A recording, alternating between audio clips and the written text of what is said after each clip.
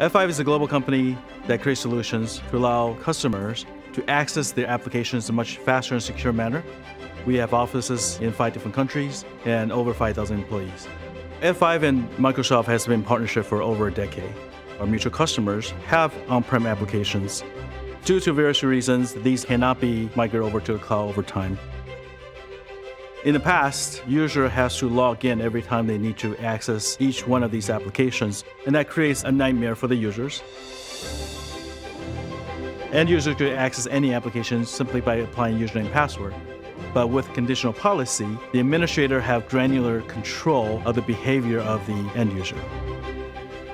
This integration between Microsoft's Azure AD and F5's Big IP APM, it allows users to have the single sign-on for all applications. This solution helps organizations to have a hybrid access that allows their employees to access their applications anywhere, anytime.